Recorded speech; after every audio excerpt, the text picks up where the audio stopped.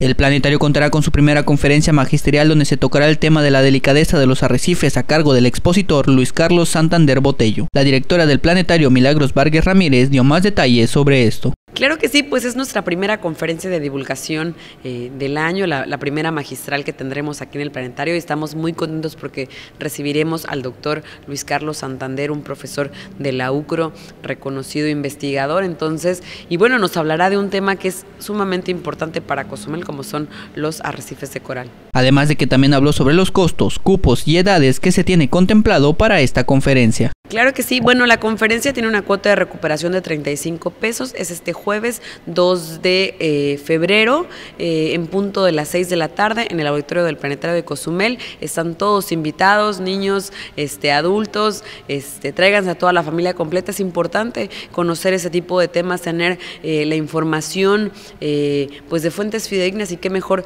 que el doctor Santander que nos viene a hablar sobre este tema. Al final también hizo mención de las otras actividades que se han tenido en el planetario, como el programa de Planetario en tu Parque, que ha tenido muy buena aceptación. Claro que sí, bueno, tenemos, bueno, además talleres, eh, eh, velas astronómicas. Entonces, bueno, los invitamos a todos a que, se unan a estas nuevas actividades del 2017 que tenemos preparados para todos ustedes. Y bueno, también tenemos actividades gratuitas. Planetario en tu Parque sigue este año con nosotros. Este miércoles primero de febrero estaremos en la Biblioteca Municipal y con ellos vamos a hacer una actividad bien interesante porque primero iremos y ellos nos, nos leerán unos cuentos sobre astros, sobre la luna, sobre el sol. Y bueno, al este, en punto de las 7, 7 y cuarto, estaremos eh, comenzando a observar a través de los telescopios. Información, Iván Maldonado, Reporteros Sin Fronteras.